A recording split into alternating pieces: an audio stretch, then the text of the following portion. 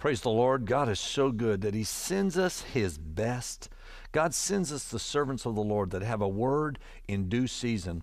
And what you're about to hear is how we have grown here at Rock City Church because we invite people to come in that have a real word from God, men that and women that love God with all their hearts and have great integrity and we bring them in to bless us here at this local church. And we get to share that blessing with you, the audience. Those of you that view this by video and by YouTube, you get to view what God does here at Rock City Church. It's a great time and a great uh, experience when we can come and uh, sit together and hear the word of the Lord and know that we're being uh, trained and we're being equipped to do all that God has us to do for his kingdom. So I bless you, and I know you're going to enjoy the speaker today because he's got a word from the Lord just for you. God bless you. Enjoy the word.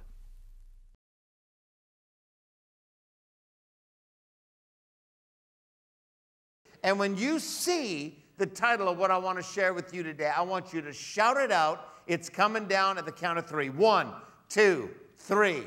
Ask! Thank you very much. Ask. You will discover in God's Word that God is more about you asking than is about Him telling you what you're supposed to do. Now, let me explain. Most young people and even people who don't know the Lord well are all about the what. What do you want me to do, God? What? What's your will? What? What? What? What am I? What? What am I supposed to do? And God says, get a life.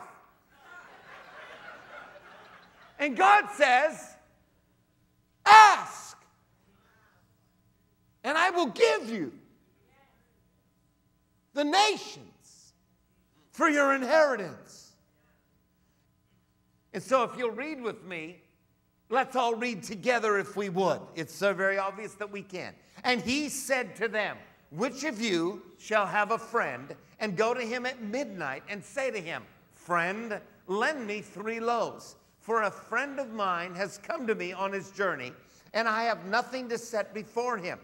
And he will answer from within and say, Do not trouble me. The door is now shut, and my children are with me in bed. I cannot rise and give to you. Now, the next screen will continue to read. And when you come to the words in black, let's just say them strong, because this is a big asking church. I say to you, though he will not rise and give to him because he is his friend, yet because of his persistence, he will rise and give to him as many as he needs. So I say to you, ask, and it shall be given. Seek, and you will find. Knock, and the door will be opened to you. For everyone who asks receives, and to him who seeks finds, and to him who knocks it will be opened.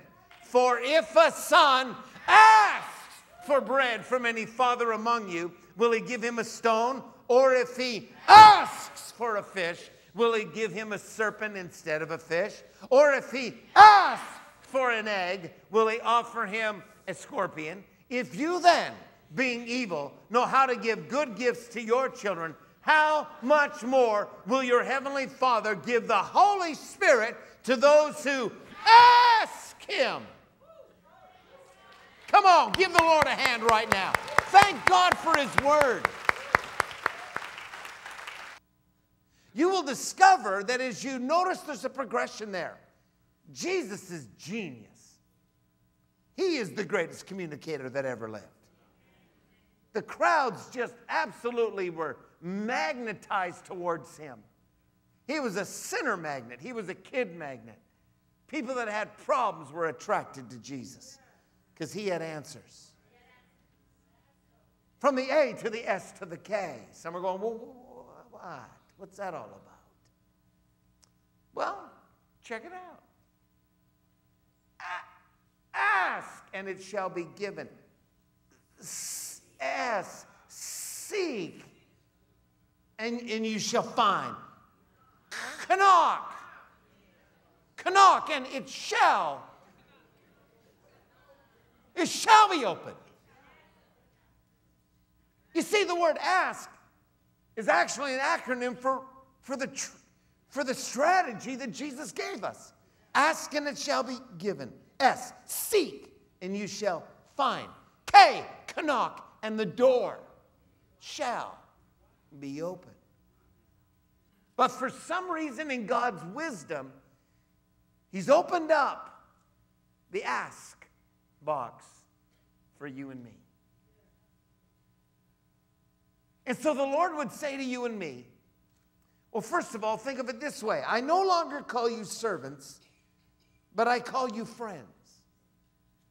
You see, you've been graduated from what do you want me to do? Servant. What? What? What should I clean today? What? What you will, Master? Master, what you will. And I understand that. There's a place for that. But Jesus graduated your relationship with Him when He died on the cross. He said, I no longer call you servants, I call you friends. And friends get to ask friends all kinds of stuff. I'm going to give you three people that were asked to ask. And the first one would be Solomon.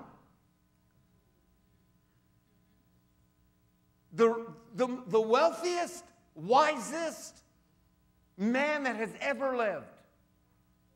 Early in his life, after he had had such a heart, a pure heart for the things of God, when he was early in his life and he, and he sacrificed multiple thousands of sheep and goats and animals, whatever, to the Lord, God got so excited that he just decided to just, just to go off. And, and he said to Solomon, Ask.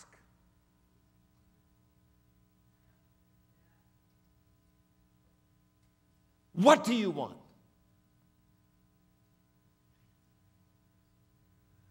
The Bible tells us that Solomon asked for wisdom. Solomon was a wise asker. And let me tell you why. What he did was awesome. Because God just got so excited about Mr. Wise Asker that he said, Well, let me throw in, let me throw in all the other stuff that your flesh would have wanted, but you went with your spirit. And because you went with the core, which is wisdom, let me now just add on. Seek ye first the kingdom of God, and all these things shall be added. Now, now, yeah, here's the point. The point is, is that when God says ask, it will reveal your motives and your mindset. Ask reveals the breadth of your life. Seek, and you shall find reveals the depth that you're willing to go to get the breadth of what you've asked. God said to Abraham, uh, sorry, God said to Solomon, Ask, what do you want me to do for you? Let me give you another scenario. It's a guy named Elisha who had a mentor in his life called Elijah. Elijah said to Elisha, My mantle is going to be on you. God has told me to put it on you. You know what Elijah did to Elisha after he told Elisha that my mantle's on you? He started treating him, treating him like just get it, get it, leave me alone. And Elijah headed off. And Elisha followed right behind. Seek. You think because God said, here's a blank check, ask, that you're not going to go need to go deep? You, you will never get this without this. Seek is a decision on your part. But watch what happens. Ask given, seek, find. Have you ever found something? I mean, you lost it and then you found it. How many of you have lost a wedding ring and then you, you found it? And it was almost worth losing it to find it. Because if you wouldn't have lost it, you wouldn't have appreciated finding it. Oh, the woman with a lost coin. You see, God, in His wisdom, has created these parables and these stories. Let me tell you what, I frankly would love to lose what's important to me so that I can find what's important to me. So Elijah is trying to ditch Elisha. Seriously, trying to ditch him. He's, he's like, I'm going to go to Jericho. You stay here. No, you're not going to Jericho without me. And so here's this Elisha following Elijah. And Elijah finally gets frustrated enough, turns around, and points his finger and says, Ask, what do you want? And Elisha says to Elijah, I want double. I want double, sir, of what you have. Have a happy day. No, seriously, he asks for double because seek will reveal your measure. Ask reveals your motive. Seek will reveal your measure. And guess what Elisha got?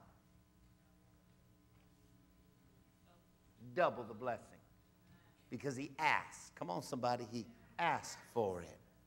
I want double. K. Knock, and it shall be opened. Because you see, if you'll ask, your breadth will be revealed. If you seek, the depth will be revealed. But then you just got to get out there and start knocking on some doors. You got to have nerve. You got to ask people for stuff.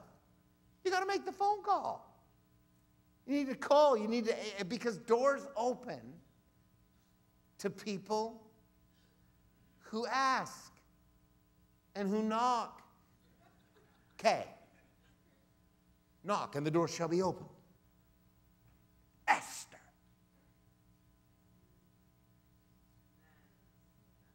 You see, A, A, ask will reveal your, your, your, your motive and your mindset. M, sorry, S, S reveals your, your, your, your measure. Here's the third M.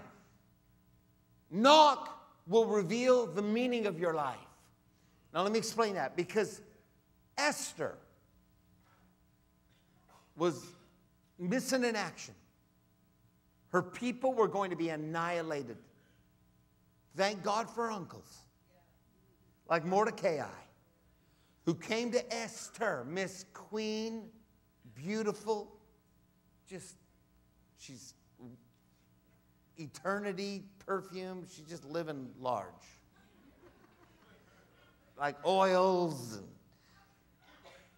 lotions for a whole year before she even was delivered to the king for his perusal. She's just one beautiful piece of humanity.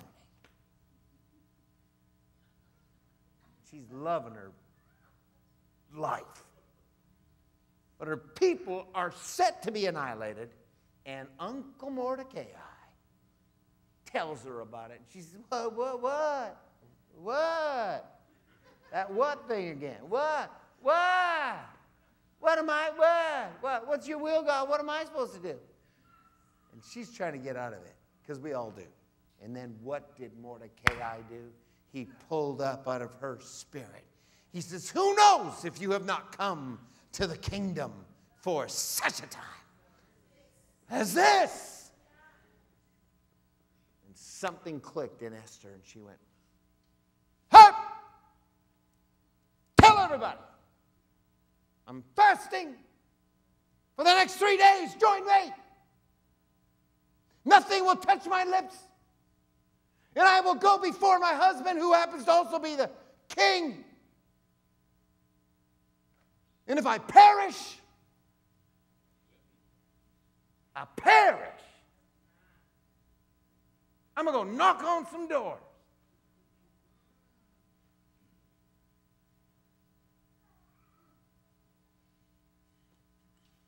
Yeah, if you're willing to go knock on some doors and don't care if you live or die, doors will open.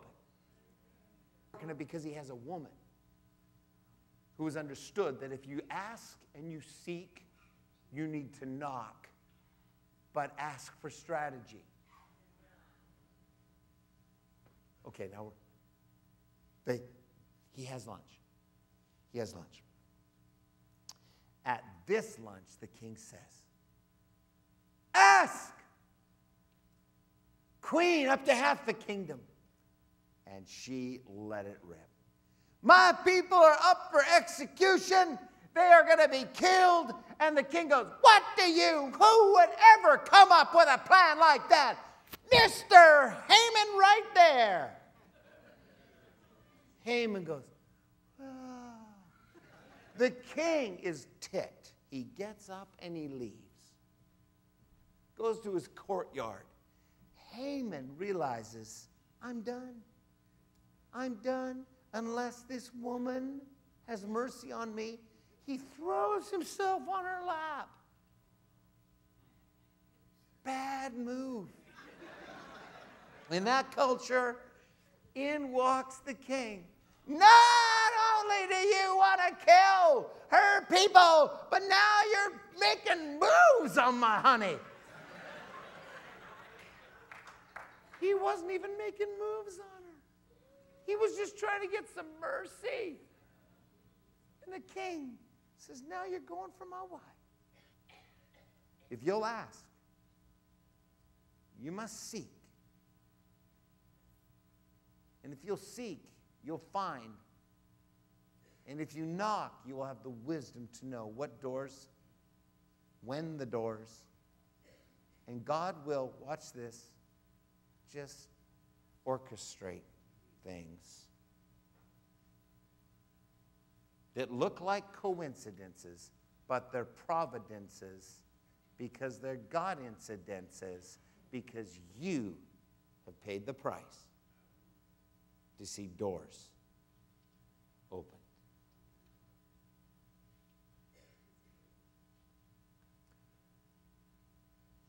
Father, I thank you for a church that asks